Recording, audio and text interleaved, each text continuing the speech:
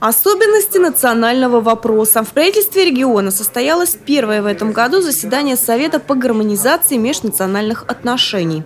Работу, проведенную в прошлом году, губернатор оценил положительно. Дружбе народов и противодействию идеологии терроризма был посвящен большой форум, организованный выездные мероприятия в муниципалитеты. В конце года правительство России утвердила государственную программу реализации государственной национальной политики. И наша задача в текущем году активно включиться в работу в рамках этой программы.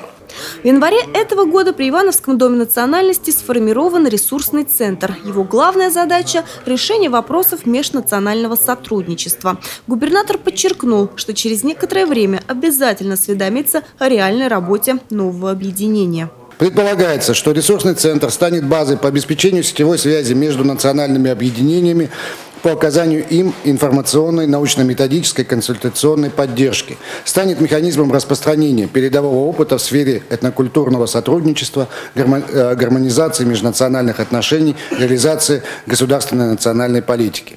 В этом году началась подготовка учителей региона к внедрению нового факультативного курса «Ивановский край в многонациональной России». Изучать его будут школьники седьмых-восьмых классов. Правда, в каком именно ключе еще предстоит решить. Будут подготовлены пособия для учащихся и методические рекомендации для учителей.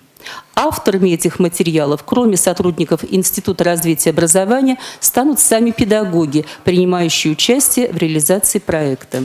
Надеемся, что реализация данного курса будет способствовать выстраиванию доброжелательных отношений между учащимися различных национальностей. Подучить решили и чиновников. Для государственных и муниципальных служащих предусмотрен новый курс профессионального образования в сфере национальной политики. Елена Белова, Денис Денисов, РТВ Иваново.